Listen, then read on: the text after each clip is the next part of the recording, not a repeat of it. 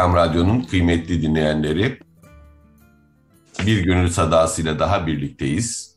Gönül sadasında kıymetli hocam Taadettin Ökten'le birlikteyiz.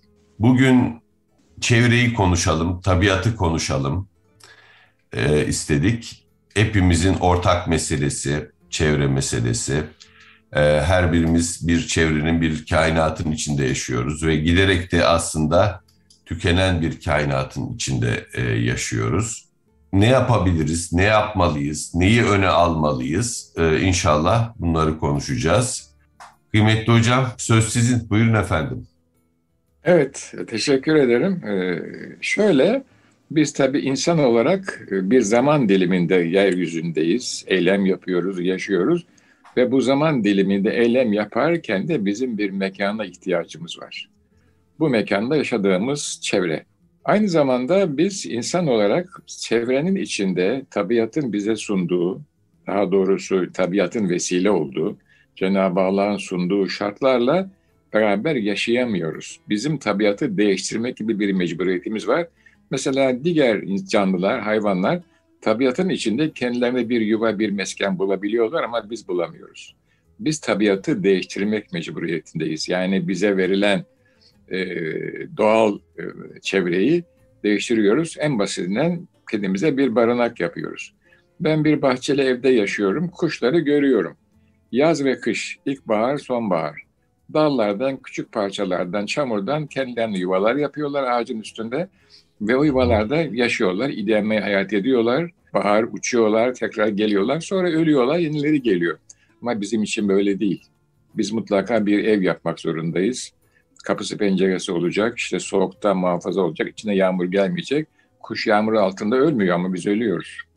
Peki biz bu çevreyi ne kadar değiştirmeliyiz? Problem orada ortaya çıkıyor. Ve biz bu çevreyi değiştirirken sadece fonksiyonu mu ön plana çıkarıyoruz? Yani korunmak için, barınmak için, hayatın devamı için bir mekan oluştururken aynı zamanda bu mekan üzerinden biz bir başka varlık ifadesinde de bulunuyor muyuz? Yani lüks bir mekan yapıp işte benim gücüm, benim kudretim, benim imkanlarım budur diyor muyuz? Burada problem buradan başlıyor. Sade, basit, fonksiyonel, işlevsel mekanlar yapıp burada sade bir hayat geçirmek mi? Yoksa bu mekanı konforla bezeyip e, ve tabii konforun da e, sınırı nedir onu da konuşabiliriz belki. Ve burada bir güç ifadesi, bir üstünlük ifadesi mi ortaya koymak? Böyle bakmamız lazım. Şimdi bu kesidi burada bırakalım.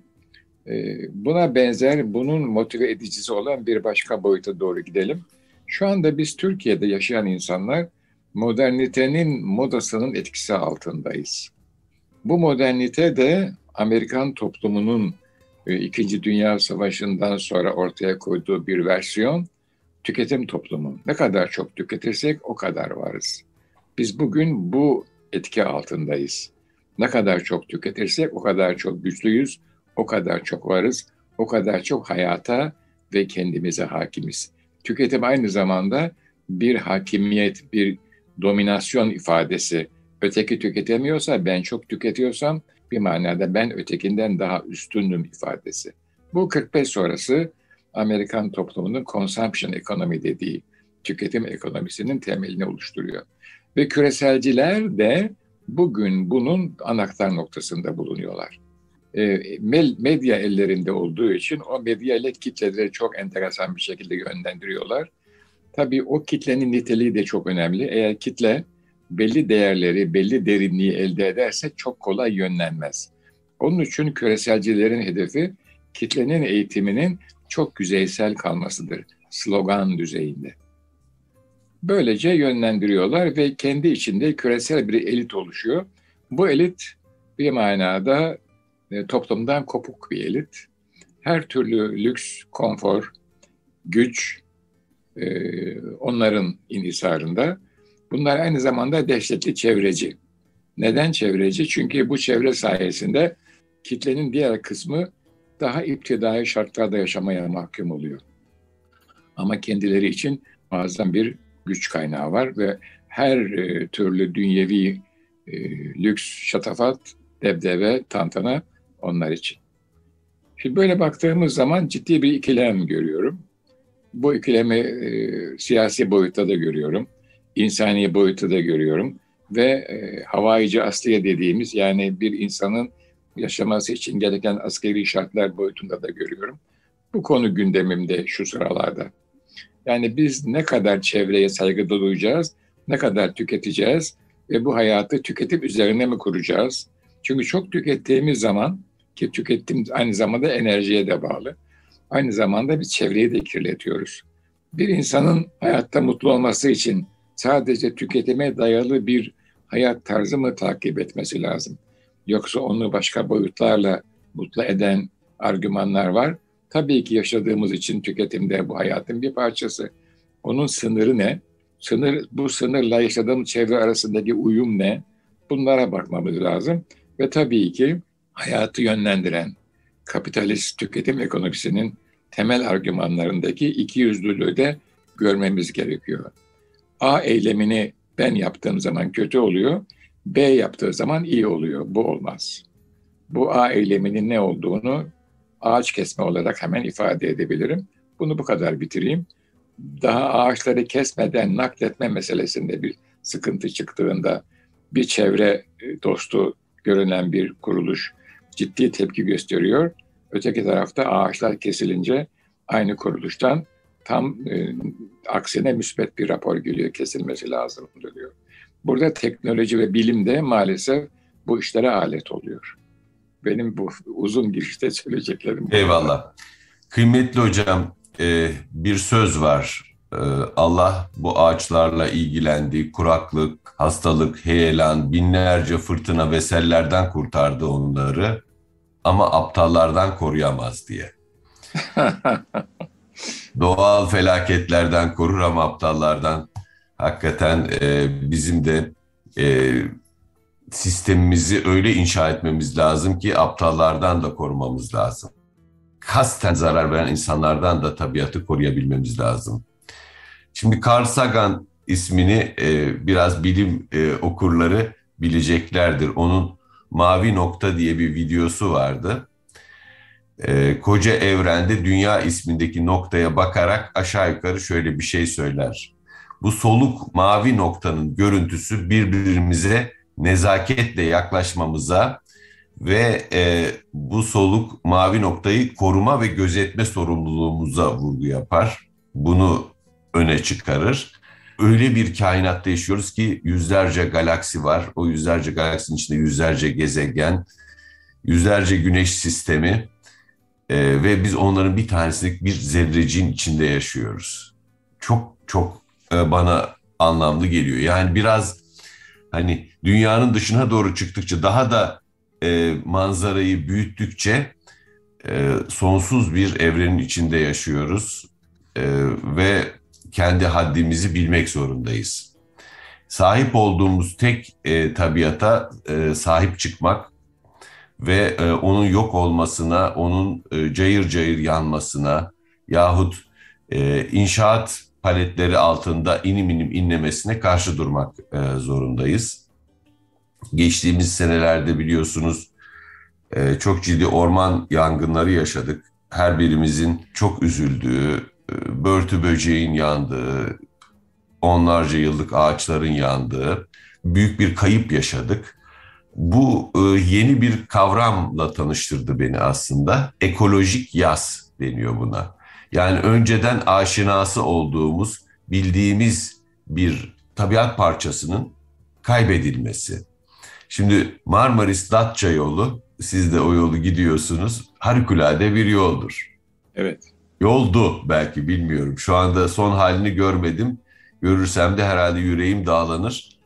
Yani sadece o yolda giderken bile vasıtayla ben yavaşlamak isterdim. Böyle o çam ağaçlarının kokusunu içime çekmek için bir e, doğa harikasıydı. Şimdi onun yerinde yerler esiyor ve bir yaz tutuyoruz. Yani şimdi ben o yoldan gittiğim zaman bir şeylerin eksikliğini e, hissedeceğim galiba. Ekolojik yaz e, daha ziyade şöyle tanımlanıyor. Birçok canlı türünün yok oluşu da dahil olmak üzere yaşanan ekosistemdeki değişimlere verdiğimiz duygusal bir cevap. Ya insan sadece kanlı canlı insanları kaybetmekle yas tutmuyor. Etrafındaki tabiatı kaybetmekle de e, yas tutuyor. Bütün bunlar da psikolojimizi etkiliyor ve travmatik etkiler doğurabiliyor. Bir de tabii küresel ısınma dediğimiz bir felaket var kapıda bekleyen. E, bununla beraber gelen iklim değişikliği, bazı canlı türlerinin yok olması, insanlığın yeryüzüne adeta gerine alınamaz bir şekilde mührünü basması ve bununla beraber ortaya çıkan kayıplar e, aslında e, insanlığı acaba bir felaketin eşinde miyiz diye düşünmeye götürüyor. Buzullar eriyor, sel, kuraklık, e, efendim fırtına afetleri giderek çoğalıyor. Ama yine de bu krize inanmak zor geliyor bize. Yani niye bir kriz olsun ki diyoruz. Ama acaba her birimizin çevre konusunda çok duyarlı olması gereken bir noktaya doğru mu gidiyoruz? Benim e, Avustralya'da bir arkadaşım var, psikoloji profesörü. Bilmiyorum belki bu programda daha önce bahsetmiştim ama tekrarda fayda vardır diyelim. Bir gün onu Türkiye'de bir sempozyuma davet ettik. Dedi ki ben dedi birkaç defa geldim gittim anlatacağımı anlattım dedi. Ben ta Avustralya'dan Türkiye'ye bir uçakla gelmek ve dünyaya daha fazla karbon izi bırakmak istemiyorum. Çok lazım olmadıkça seyahat etmiyorum dedi. Evet. Yani bu bir bilinçtir mesela çok, çok bazı insanlarda olan bir bilinç. Yani yaşadığımız yeri temiz tutmak, yaşadığımız yeri e, diri tutmakla ilgili. Bu ekolojik yası yaşamamak için herhalde bir ekolojik bilince, çevre bilincine e, sahip olmamız gibi geliyor bana hocam çaremiz. Daha iyi bir gelecek için aslında umudumuzda karşılıklı sevgiyi, saygıyı, doğal kaynakların korunmasını, onların bize ilahi birer bağış olduğunu evet. daima hatırda tutmak e, ve e, Allah'ın verdiği emanete sahip çıkmak. Evet. Küresel ısınma dediğiniz esas problem orada. Bu enerji üretimiyle alakalı bir şey. Şimdi insanlar güç sahibi olmak istiyorlar. Bu güç sahibi olmayı dış dünyada aradığınız zaman karşınıza enerji diye bir kavram çıkıyor. Yani fiziksel bir kavram bu. Ve sizi güç sahibi yapıyor. Bu sayede dünyada e, başka insanlar üzerinde bir e, egemenlik, bir hakimiyet kurabiliyorsunuz. Sanayi devrimi bunun başlangıcıdır. Sanayi devriminden önce insanlar tabiat kuvvetlerinden, mesela rüzgardan ve akarsudan enerjiyi temin ediyorlar. Yahut da kas gücünden. Hem insanlardan hem hayvanlardan. Bunların hepsi tabii enerji kaynakları. Ama sanayi devrimiyle beraber buhar makinesini imal ediyorlar. Hı hı. Bu tabii değil. Ve buhar makinesiyle beraber bu enerjiye sahip olan Batı dünyası dünyanın diğer tarafını domine etti ciddi bir şekilde. Çok zorladı. Ezdi, parçaladı, sömürdü vesaire.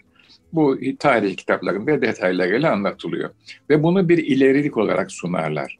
Tabii ki şöyle bir ilerilik, eğer siz hayattaki kriteri maddi ölçülere vurursanız daha çok üreten, daha çok güçlü olan, daha, daha kuvvetli olan, e, teknolojisi daha ileri olan tabii ki ileridir. Veya daha çok, yani rakamsal olarak büyük olan.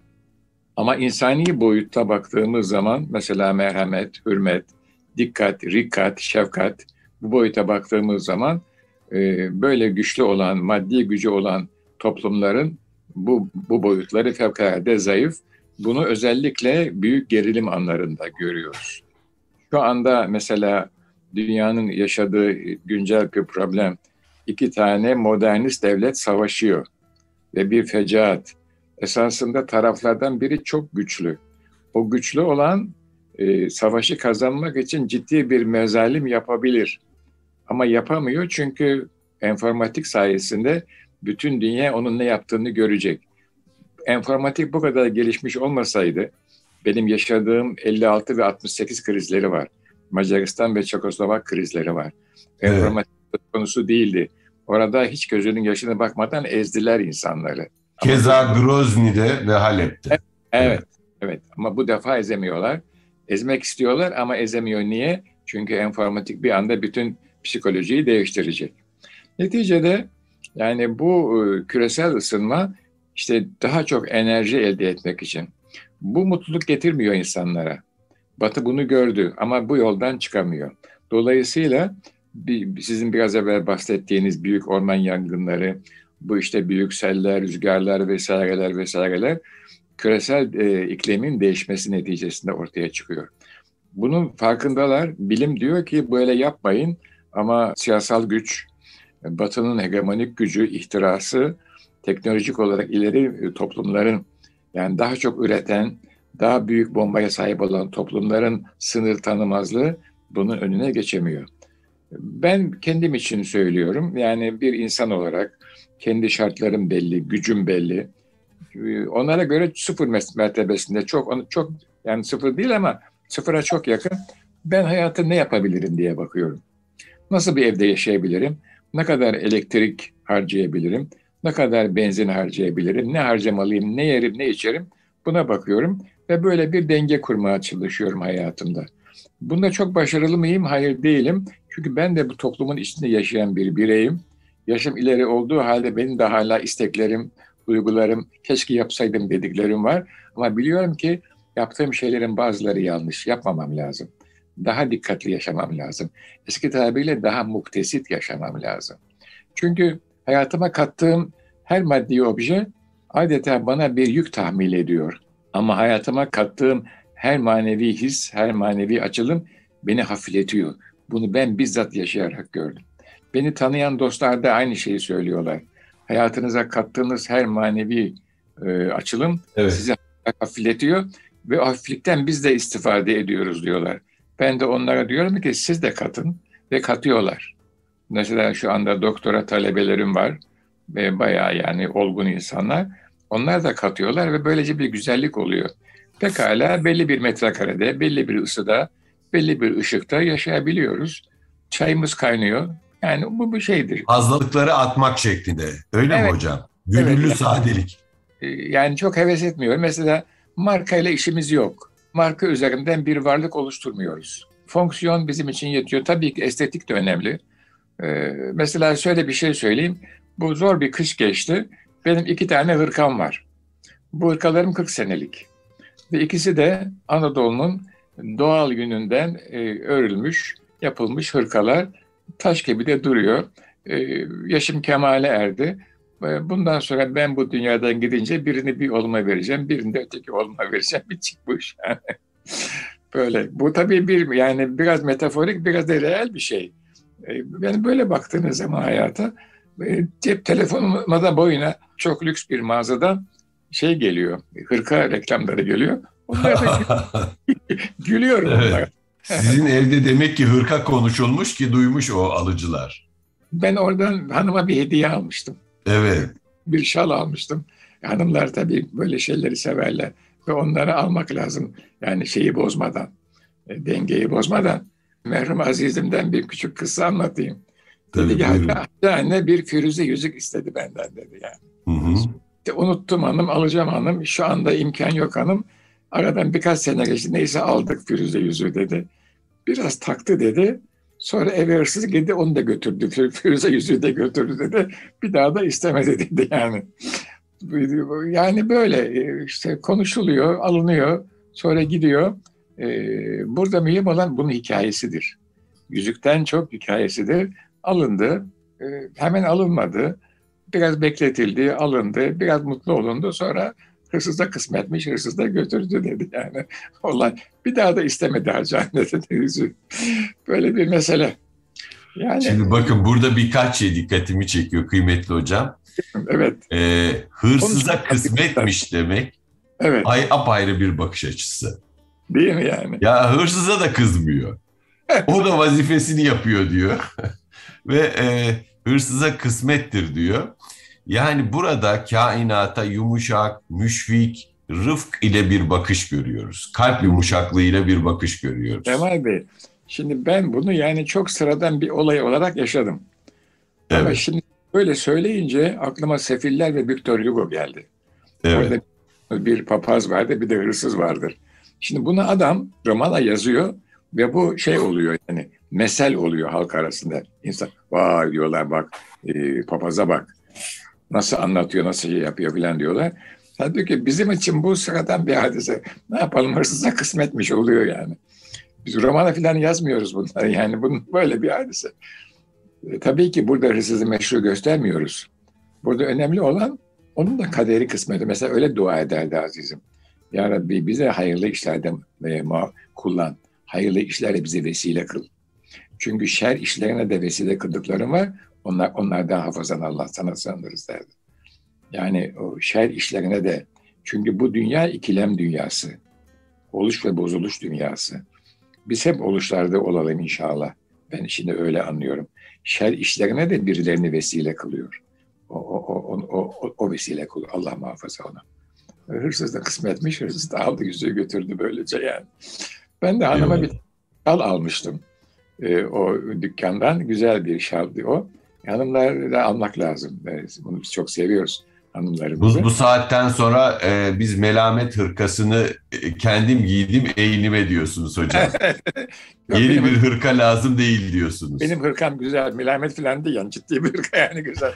o, o noktaya gelemedik de ama yeni hırka lazım değil. Bir defa fonksiyonel bir de tabii yün. Çok çok güzel yani. Sıcacık tutuyor adamı yani.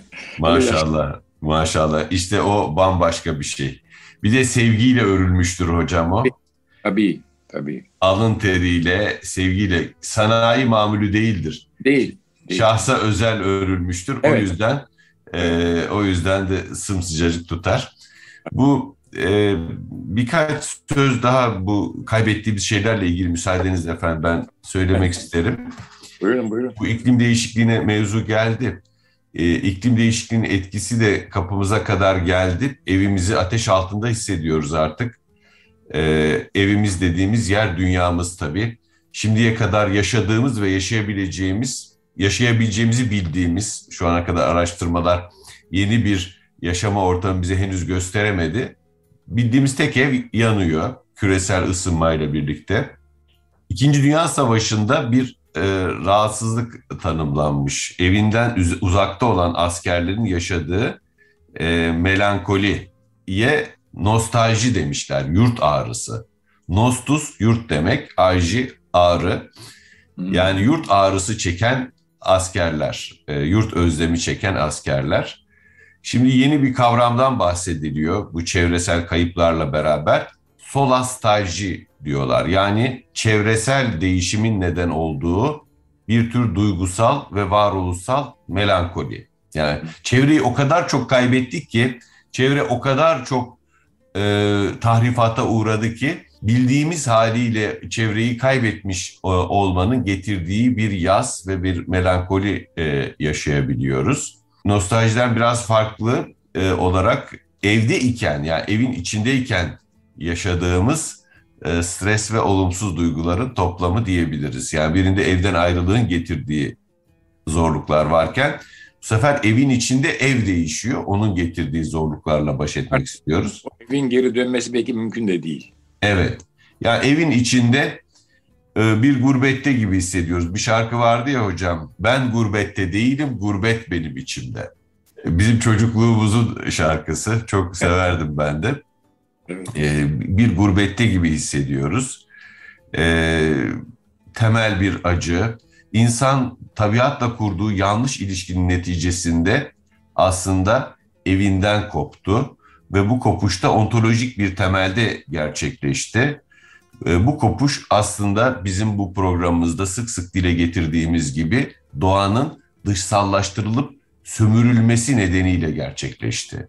Yani doğayı bize Allah'ın bir emaneti, e, ona tediple, saygıyla, hürmetle yaklaşmamız gereken bir bağış olarak görmedik de yağmalanacak bir ham madde deposu olarak e, veya efendim e, istismar edilecek bir varlık olarak gördük.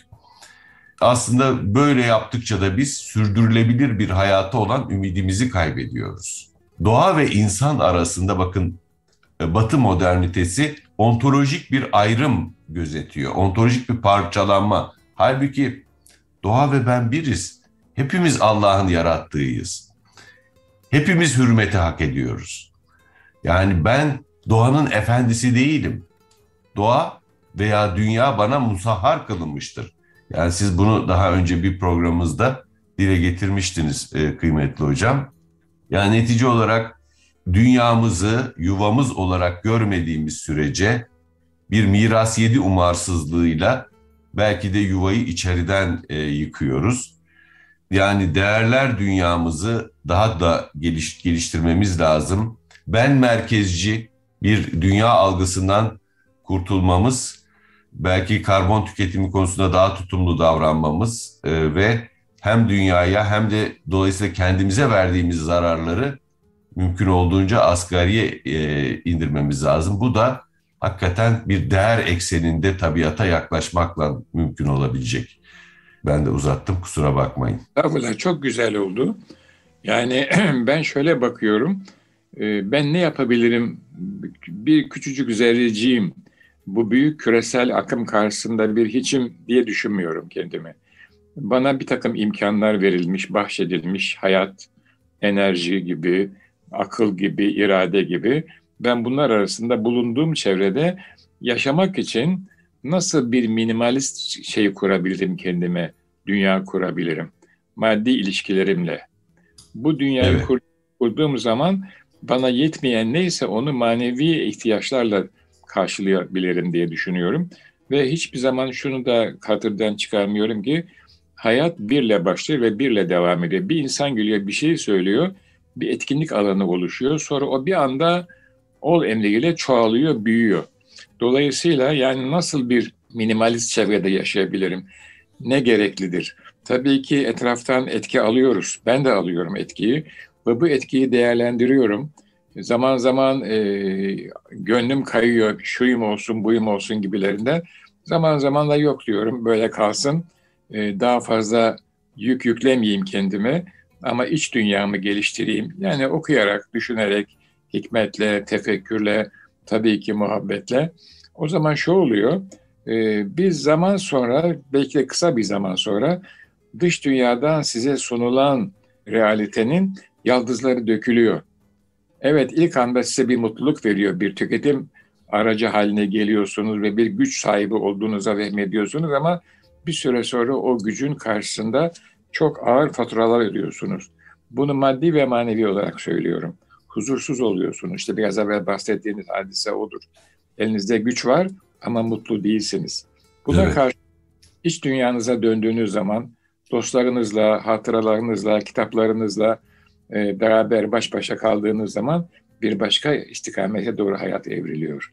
Ben e, bu sohbeti dinleyen aziz dostlara İnşallah kitabı çıkarsa kitabı okuyacak olanlara da e, acizane başımdan geçen hadiseyi böyle özetliyorum. Evet biz yaşamak için bir şekilde bir şeyleri tüketmek mecburiyetindeyiz. Ama dikkatli olalım. Benden ne olur demeyelim.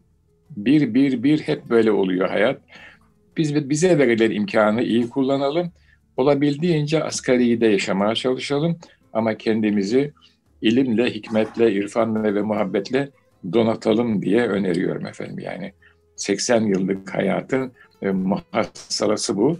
Özellikle eski büyüklerden işittiklerim şimdi daha bir net ortaya çıkıyor.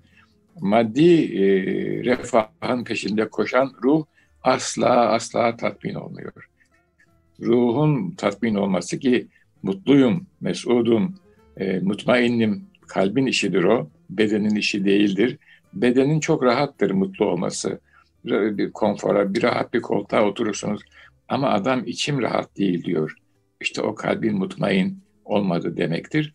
Onun da yolu maddi refah değil. Kıymetli hocam, e, dilinize, gönlünüze sağlık. İnsan sadece sahip olduğu şeylerden ibaretse onları yitirdiğinde kendisini de yitirmiş olur.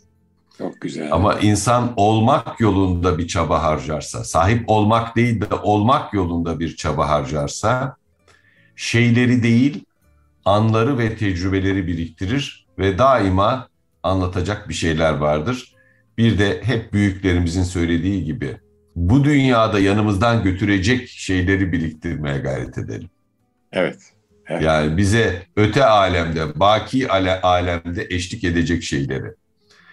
Maddi olan hiçbir şeyi bu dünyadan yanımızda götüremiyoruz.